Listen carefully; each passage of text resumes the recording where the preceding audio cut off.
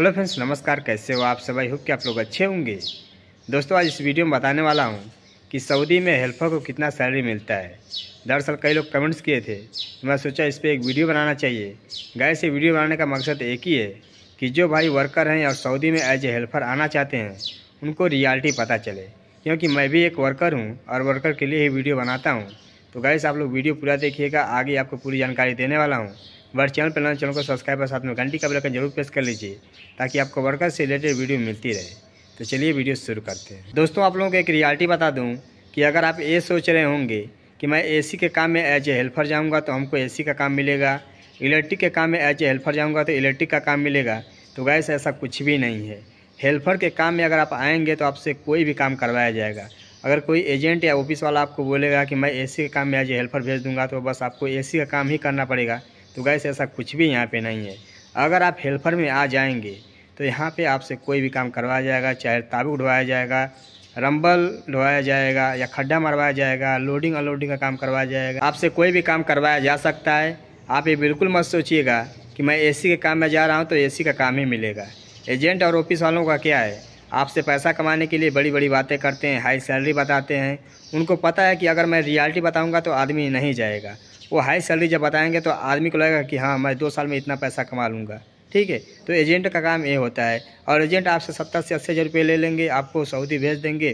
फिर उसके बाद क्या काम आपको मिलता है, क्या करते हैं, कैसे रहते हैं, उससे कोई लेना देना नहीं है। ठीक है? तो आप जब भी एज ए हेल्पर आ रहे हैं सऊदी में तो सोच समझ करके आइएगा कि यहाँ पर आने के बाद आपको कोई भी वर्क करना पड़ सकता है। अंदर का भी काम करना पड़ सकता है, बाहर भी काम करना पड़ सकता है। तो गैस आप जब भी सऊदी आइएगा तो सोच समझ करके आइएगा कि हाँ हमको कहीं भी काम मिलेगा तो मैं कर सकता हूँ। गैस ये जो रियलिटी है, जो ग्राउंड पे होता है, वो मैं आप लोगों को बता रहा हूँ। आप लोगों को विश्वास करना है, नहीं करना है, वो आपके ऊपर डिपेंड करता है, ठीक है? लेकिन तो जो रियलिटी है, वो मैं आप लोगों के साथ शेयर कर रहा हूँ। तो गैस, अब बात करते हैं सैलरी की। दोस्तों, अगर आप सऊदी में किसी भी कंपनी में आते हैं तो उसमें जो स्टार्टिंग बेसिक सैलरी मिलता है 900 प्लस 200 सऊदी रियाल, ठीक है? 900 प्लस 200 900 आपका बेसिक होता है 200 कंपनी खाने के लिए देती है। ठीक है, टोटल मिला के ग्यारह सौ दरहम as a helper.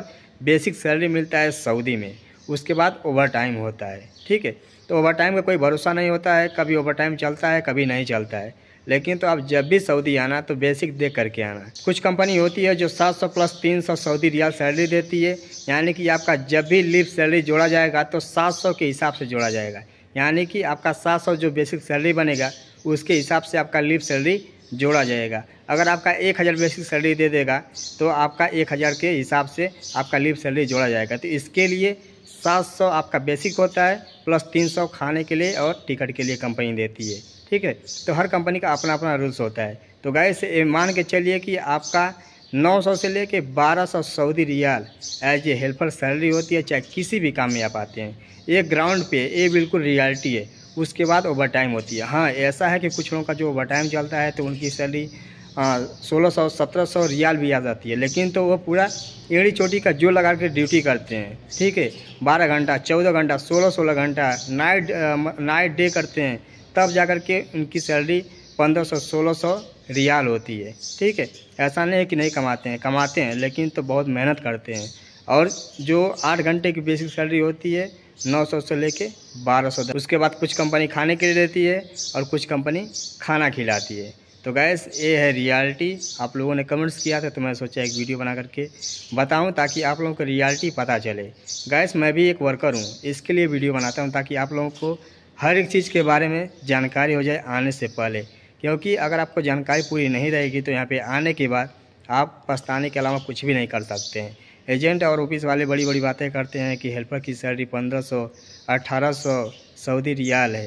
तो गाय से बिल्कुल झूठ है। टेक्नीशियन का तो सैलरी इतना आइया नहीं है तो हेल्पर को सरवा कहाँ से मिलेगा? ठीक है? तो आप जब भी आना सऊदी तो सोच समझ के आना। मेरे हिसाब से अगर आप सऊदी में एज हेल्पर आना चाहते हैं तो हेल्पर में ना आ करके आप दो साल, तीन साल काम सीख करके आएँगे तो उसमें आपको अच्छा सैलरी मिलेगा। एक बात बता दे रहा हूँ कि अगर आप हेल्पर में आते हैं ठीक है। आपका सैलरी बारह सौ रियाल है। खुदा ना खास्ता कंपनी में ओवर टाइम नहीं चला। तो जो आपका बेसिक सैलरी बारह सौ रियाल है, उसमें से खाने के लिए कम से कम तीन सौ रियाल आपको चाहिए। कम से कम तीन सौ रियाल। तो बचेगा कितना आपका? नौ सौ रियाल। नौ सौ सऊदी रियाल आपका सैलरी बचेगा। तो इंडियन मनी में आपका तकरीबन सत्रह से अट्ठारह हज़ार रुपये होगा। इससे ज़्यादा आपका नहीं होगा। तो आप ये समझ लीजिए कि अगर आप हेल्पर में आएँगे तो बहुत मेहनत करेंगे तो आप बीस हज़ार रुपये कमाएँगे ओवर टाइम लगा के बीस से बाईस हज़ार कमाएँगे, इससे ज़्यादा नहीं कमा पाएँगे। अगर आप साल, दो साल काम करके आएँगे तो आप वही सैलरी तीस हज़ार, पैंतीस हज़ार रुपये कमाएँगे। तो मेरे हिसाब से आप लोग काम सीख करके आएँगे तो आपके लिए बेटर है, क्योंकि आदमी यहाँ पे कमाने के लिए आता है, ठीक है? दो साल, तीन साल या पाँच साल के लिए अपनी फैमिली छोड़ करके आता है तो उसको अच्छी सैलरी नहीं मिलेगा तो गैस कोई फ़ायदा नहीं है। अगर आपको अट्ठारह से बीस हज़ार रुपये कमाना है तो आप अपने मुल्क में रहिए, वहीं पे आपके लिए बेटर है। ठीक है? तो आगे आप लोगों के ऊपर डिपेंड करता है। मेरे तरफ़ से कोई वो नहीं है कि बस आप नहीं आइए, नहीं तो आप लोग कमेंट्स करके कहेंगे कि अपने तो चला गया है, हमको मना करता है आने के लिए। तो गैस, मेरा एक कोई सिद्धांत नहीं है। जो रियलिटी है, वो मैं आप लोगों को बता रहा हूँ। तो आई होप कि वीडियो आप लोगों को पसंद है तो प्लीज़ वीडियो को लाइक कर दीजिए, चैनल को सब्सक्राइब कर दीजिए। शेयर ज़रूर करिए ताकि और दोस्तों की इस वीडियो के माध्यम से जानकारी मिले। तो यहाँ पे आने से पहले उन लोगों को जानकारी हो जाए। गाय से मेरे पीछे आप देख सकते हैं, ये इलेक्ट्रिक का वर्क हुआ है। ये पीवीसी पाइपिंग है, ठीक है? और ये ताबूक पूरा जोड़ा गया है। ये नया स्टोर रूम बन रहा है, ठीक है ना, किसी कंपनी का। ये पूरा ताबूक तो करके यहाँ पे डिस्ट्रीब्यूशन बोर्ड इंस्टॉल किया गया है। तो गैस जो रियलिटी थी वो मैं आप लोगों के साथ शेयर कर दिया। आगे आप लोगों के ऊपर डिपेंड करता है। नमस्कार, जय हिंद। मिलेंगे कोई नई जानकारी के साथ नेक्स्ट वीडियो में।